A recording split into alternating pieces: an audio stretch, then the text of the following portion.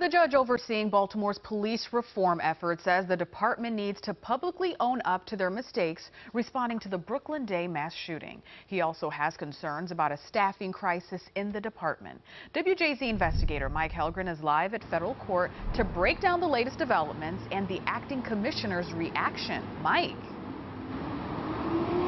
Well, today, Nikki, the acting commissioner told the judge those who failed to do their job in Brooklyn will be held responsible. And we did learn that a draft of the after action report is close to 100 pages long. It's expected to be made public soon. The Brooklyn Day mass shooting was the largest in Baltimore's history. 30 people wounded, two of them died.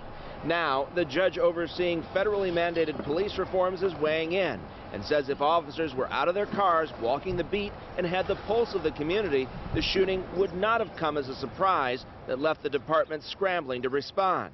I'm confident the Brooklyn mass shooting after action report will reveal shortcomings in community engagement, Judge James Bredar said. Worley promised the judge those who didn't do their job will be held accountable. I asked him about it during a break in the hearing today. We could have done better, and, and we could have, and we'll, we'll stick to that. The report will pretty much show some of the things that we could have done better. While acknowledging challenges, Worley says he wants to be confirmed as the city's next commissioner and told Judge Bredar he needs to get the details right and improve morale. He says he personally texted the officers shot at this week by alleged carjackers about their well-being. You're watching WJZ exclusive video of the frightening incident, and Worley is hopeful for a smooth transition to the top job. This is the best transition I've ever seen. I think I've been through 11 police commissioners.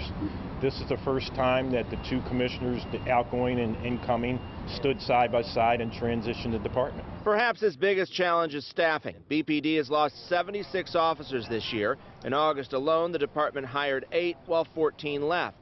The force stands at 2,062, more than 500 fewer officers than the staffing plan calls for. We're going to try to recruit, recruit some officers who have left over the last couple years by offering them an incentive to come back. A big incentive, Baltimore will soon raise the signing bonus for new officers from $5,000 to $10,000 as the BPD competes with departments nationwide to fill open positions. And the department has not set a date for when those signing bonuses will kick in. The judge has shadowed various officers on their shifts and says they are being crushed by mandatory overtime, including some shifts longer than 16 hours. Reporting live at federal court, Mike Hellgren, WJZ.